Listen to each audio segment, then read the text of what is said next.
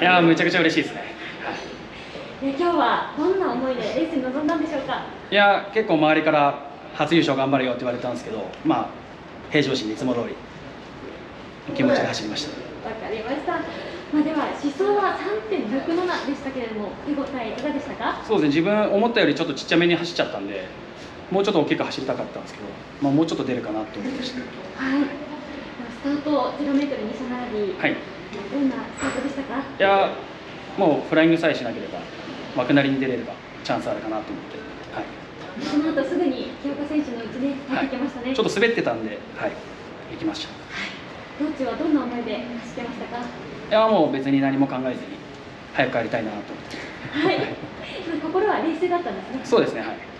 ゴールした瞬間、どんなお気持ちでした？いやー周りであの拍手してくれる人がいたんでああやったなって感じでしガッツポーズも出ましたね。たあはい決めてましたはい。えー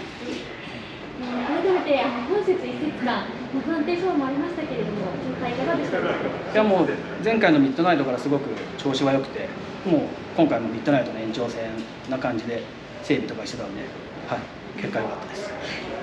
見事初優勝おめでとうございました。ありがとうございましたえー次節は12月20日から飯塚で行われるレースとなっています。はい意気込み含めてファンの皆さんにメッセージをお願いします。でそうですね、え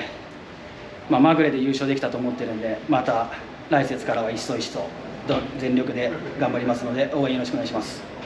見事初優勝を決めました柴田博選手でした。おめでとうございます。ありがとうございました